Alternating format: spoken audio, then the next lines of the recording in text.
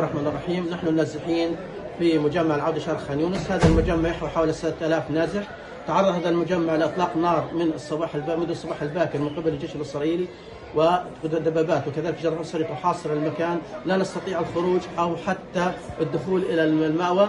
آه، بناء على تعليمات الجيش المسبقة تم له إغلاق المأوى المأوى آمن ولكن حدثت عن- في المأوى ولم نستطيع السيطرة عليها. نناشد الجميع نناشد الجميع سواء هيئة دولية أو هيئة محلية الصليب الأحمر وكالة الغوث الوقوف على قدر المسؤولية لإنقاذ هؤلاء النازحين العزل الذين يفتقرون لأدنى مستويات الحياة. فقط كل وا... كل إنسان أو كل نازح لا يمتلك إلا شيء بس بسيط جدا. لا يمتلك شيء. فبالتالي نتمنى من الجميع. حقوق الإنسان الصليب الأحمر الوقوف على قدر المسؤوليه وانقاذ هؤلاء النازحين بتوفير وسبل الأمان للنازحين. نتمنى من الجميع الوقوف على قدر المسؤولية. ولكم منا كل الاحترام.